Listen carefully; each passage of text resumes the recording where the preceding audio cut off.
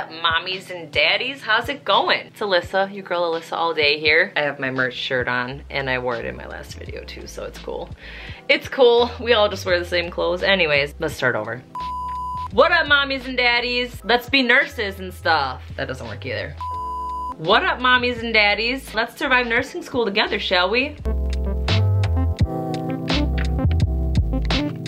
Hey guys, today's video, if you couldn't tell by the title, is basically tips for you mommies and daddies on how to survive nursing school. Surviving nursing school without children is a feat that you should be proud of. It is not an easy task. When you have children, you really kind of, you're just kind of sadistic. Like, let's be real. Let's be real. Those of you that are, that are in it, you get it. You get it.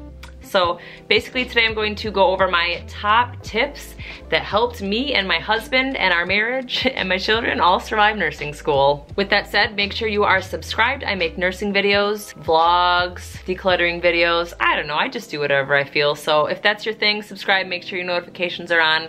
And if you have any tips for the other mamas and daddies, please leave them in the comments below. All right, so I first wanna tell you a little background about my story. And yes, you should stick, you should stick here. I'm gonna try to condense it. It's a long story, we're gonna make it short. Long story short, I had a baby while in school. That was a high risk pregnancy. We were told there was a high possibility that she would have Down syndrome, which obviously came with its own stuff. Uh, my oldest daughter was diagnosed with Chiari malformation and syringomyelia and craniocervical instability, and she had brain surgery all I was in school. Uh, that happened right before nursing school. It was not easy. Fast forward to nursing school. I don't know how my marriage survived that first semester, I, if I can be completely honest.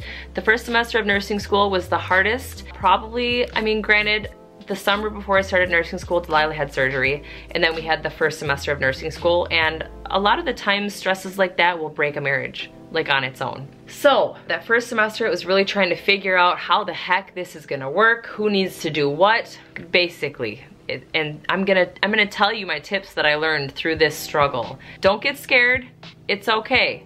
So there's my story, and I just graduated. I'm taking NCLEX today, distracting myself making this video. Yeah, so let's just get into our tips. I made a different tips video. They're more basic tips for people without children, so definitely check that out. I'm gonna try not to repeat that stuff, so. First things first, I'm the realist. Moms, dads, you know you need a planner. You probably already have one because you have children, and children have things going on. So here's my planner. I kind of went over in the other video how I go through my planner, so I'm not gonna tell you, but you will need a planner. Put all of your dates, print out your schedules and your syllabus. At the beginning of the semester, put all of your due dates in your planner and all of your life dates, doctor dates. You ain't really gonna have dates with your, your spouse, so you don't even have to put those in there, fine. I'm just kidding, I'm just kidding.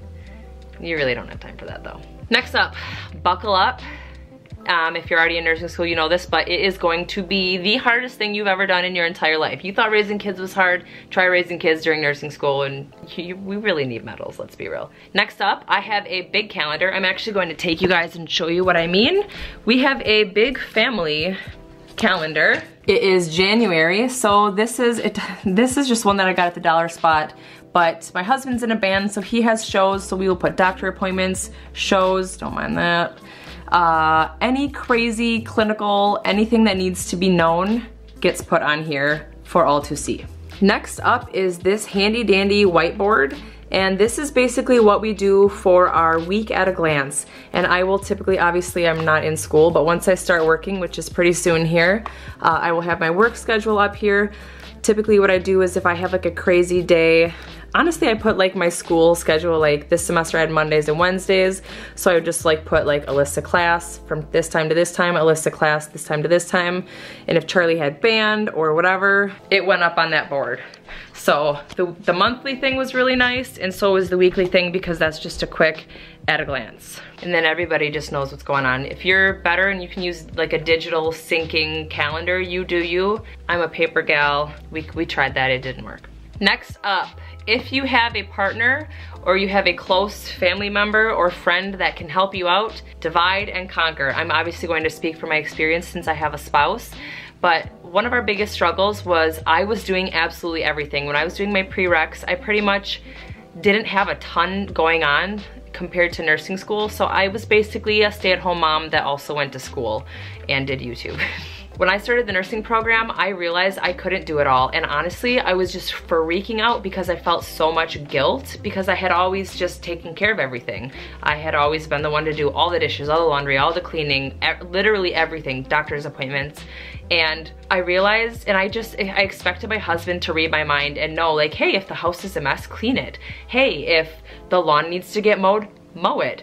But my husband uh, works better with to-do lists and he asks for to-do lists. So we kind of like basically discussed what things he would do all of the time and those were his things and then if I wanted additional things done when I was overwhelmed I would make him to-do lists. For example, baths are his thing. He does all of the girls' baths for the most part unless he's at band. And then he also does, uh, he makes the girls lunches. I got the girls ready in the morning. I thought it was a fair trade-off for him to make their lunches at night. So that was his thing. You need to figure out what are going to be your things and what are going to be their things. And then you don't have to worry about those things and you don't need a to-do list. So that was honestly probably the biggest issue that we had. Like that was what we thought about the most.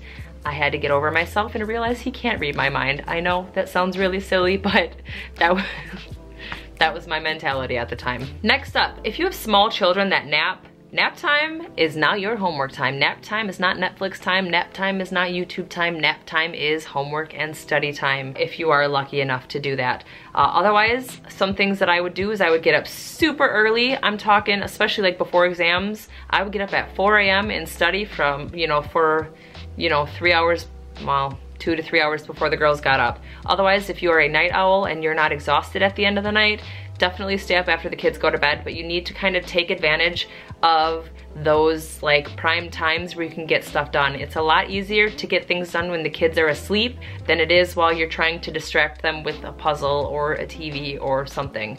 With that said, do not feel bad if you are studying for an exam, you're home alone with your kids, and you need to turn on some little Einsteins or some TV or, you know, ABC mouse on a tablet, I don't know, whatever. But don't feel bad. You gotta do what you gotta do. It's a short period of your life. Next tip is if you can, leave the house to study. I admittedly did not do this nearly as much as I should have. I would just go in my bedroom, but let me tell you, you think the kids are gonna bother you? No, honey. It's gonna be your biggest kid bothering you. And in my case, that is my husband. I swear, I made him put a lock on our bedroom door so I could lock the door. And guess who always comes in? Yes, ladies and gents, it's my husband. So if you can leave the house, I would literally get things done in a, a, third of the time if I would leave to do homework or study versus at home. It's just the truth. Next up, and I know, I know we're all type A here, I get it. We are all neat freaks, we are all very organized, we are all type A, okay? But I hate to break it to you guys, you gotta find something that you can let go. For me, that was laundry. The laundry gets washed, and then the laundry sits in a basket. This is actually the only laundry that I have full of stuff. But during school, I would basically wash the clothes and my husband and I would separate each person into a basket and that that was that because taking time and folding laundry is so time consuming and it was my one thing that I chose to let go. In addition to that, I also realized that sometimes my house was gonna get behind and it was a nightmare. Let me tell you fam, I love cleaning. That's what I do when I should be studying and I'm stressed. And I love a clean house. Like I made a cleaning video, you can check it out up here. And basically life got away from us and our house was a disaster. Like I'm talking the messiest it gets. And I had so many people and I don't mean to be rude, saying, well, this is how I get it done. Well, honey, I'm so happy for you, but you know what? Life, life gets a little bit crazy, and I do the best that I can. And just because my best ain't as good as your best does not make me a bad person. So, ignore the haters, you know what I'm saying? For real, you gotta let it go, you're gonna drive yourself nuts. With that, declutter as often as you can. Obviously, decluttering is time consuming, but I'm talking spring break, fall break, winter break, summer break. Declutter. Pretty much every single break I had, your girl spent a few days decluttering, and I'm still decluttering, but getting rid of clothes that you don't wear, don't need, like your kids only need like 10 days worth of clothes tops. Like I just went through all my kids' clothes. Declutter if and when you can. Next up, set everything out the night before. Everything. Your kids' lunches, your kids' backpacks, your kids' clothes. If you have older kids that care, let them pick out their clothes. Do baths at night. Everything needs to be done at night. You need your backpack out. You need your laptop charged. You need everything ready by the door, your workout clothes, your clothes clothes, whatever. It needs to be done at night because in the morning, you don't have time for that, especially if you have classes in the morning and you gotta take, take your kids to school, to daycare, whatever. Set it out. Next up, mom guilt. I'm sure dad guilt's a thing too, but moms, something biologically in us where we have all of the guilt. And uh, a lot of people ask for tips on guilt, and let me tell you, it doesn't matter what you do, you're gonna have mom guilt. Uh, I had mom guilt about not having a clean house, but that's just life. With this, the only tip that I really have is you need to understand the value of quality over quantity. And basically by what, what I mean by that is put your phone away and spend 20 minutes, 20 to 30 minutes with all of your kids or one kid at a time and just give them your undivided attention. I know you're stressed.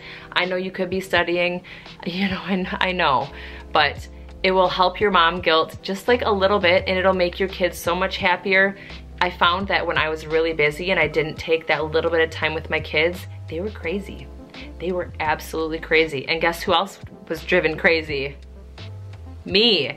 So if it benefits you, benefits the kids, it's, it's a win-win. So take just like a little bit of time, a little bit of time. And with that, typically Sundays were my homework and study days and Saturdays were the days with my family. Obviously, if I had an exam, both days were school study days, but I found that having Saturdays just be my hangout day really helped me stay sane, even when I felt bad for not doing homework.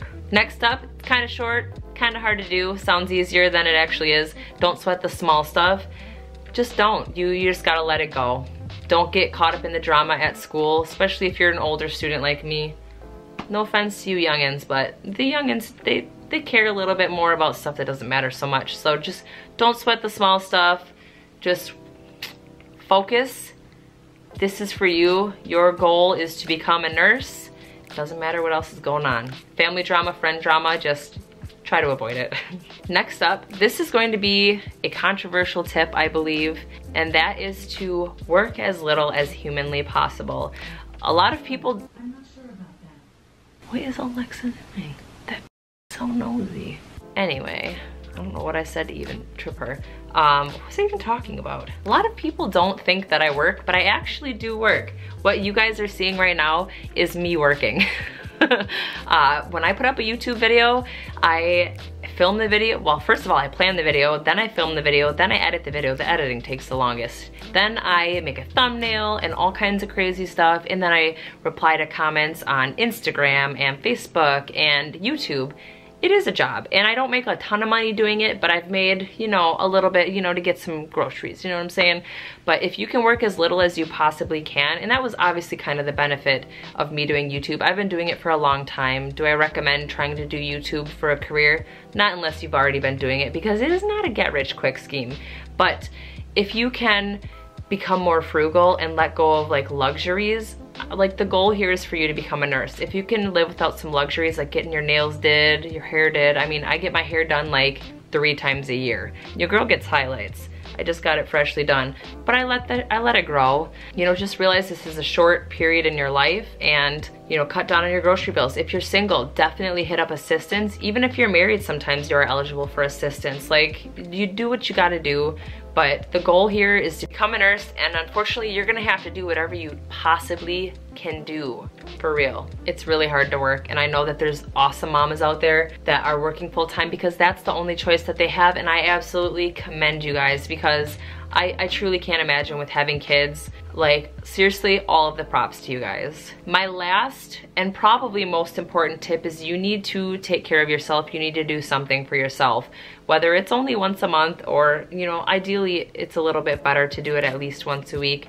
whether it's take a bubble bath. I'm not a bath girl, but I know some people are bath girls. Take a bath, go out with a friend, something, whether, even if it's like exercising or reading a book before you go to bed. You need something for you because let me tell you, honey, if mama ain't happy, ain't nobody happy. So do not feel guilty. You need to take care of yourself in order to take care of everybody else because that's what mommies do. And I'm sure there are daddies out there that do it. I'm not trying to be, you know, exclusive here. I'm I'm overgeneralizing. We understand this, right? I know, I'm being stereotypical with the roles. But anyways, those are all of my tips. This was a really long video, but I it's such a struggle as a parent in college, so I really wanted to give you guys my absolute best tips. Like I said, if you are a mommy or a daddy or just a nursing student and you have an excellent tip that has really helped you throughout nursing school, please leave them in the comments below. Hope you guys enjoyed this video. You can also check out my basic tips video if you didn't see it already, and I will see you guys next time. Thanks for watching. Go on with your bad selves.